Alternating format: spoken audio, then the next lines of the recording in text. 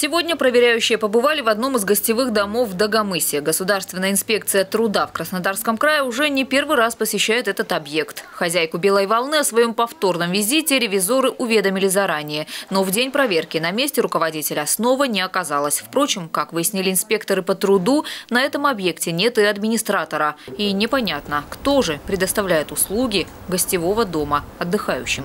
Услуги с питанием, проживанием.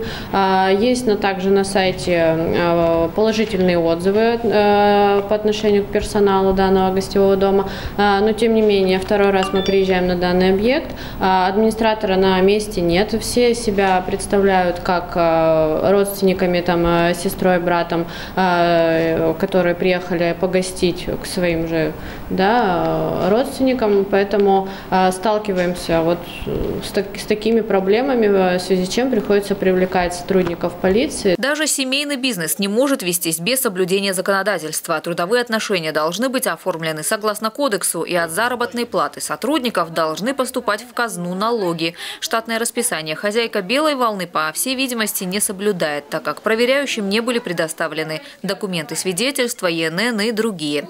По данному факту были составлены протоколы, а предприниматель привлечен к административной ответственности.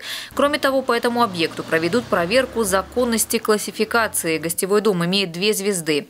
Посетят «Белую волну» и сотрудники Роспотребнадзора. Сейчас решается вопрос о приостановке деятельности гостевого дома.